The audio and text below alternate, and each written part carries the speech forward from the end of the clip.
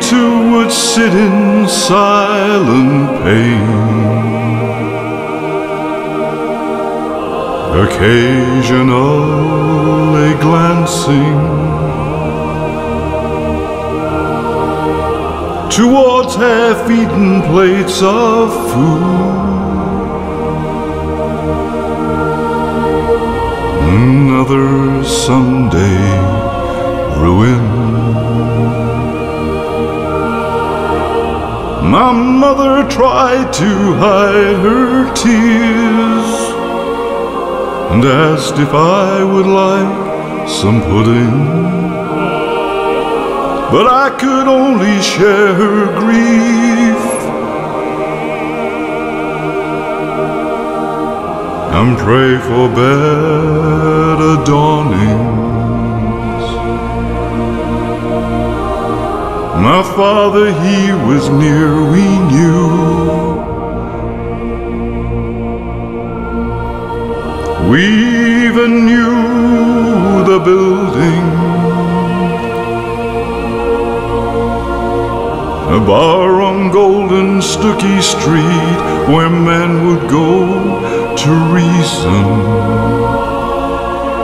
There was freedom there, it filled the air amongst the wine and wisdom. And every Sunday I would go. to bring father home to mother.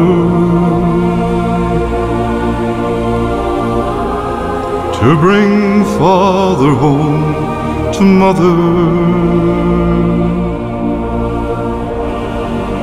Oh, but he would never be prepared to go and leave his comrade.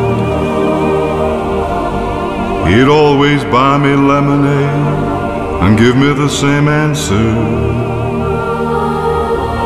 Tell your mother I'll be home soon.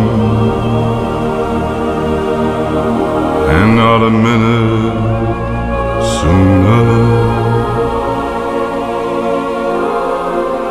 And so the message I would give her, and she'd tremble in her silence.